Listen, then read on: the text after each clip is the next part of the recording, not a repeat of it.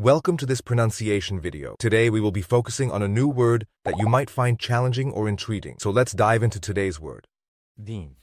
which means Dual income, no kids, financially affluent couple without children. let's say it all together. Dink. Dink.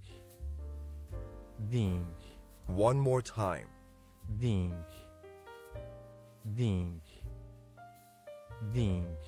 Thank you for joining us on this adventure in pronunciation. Remember, language is a journey, not a destination. Keep exploring, experimenting, and expanding your linguistic horizons. We'll see you next time.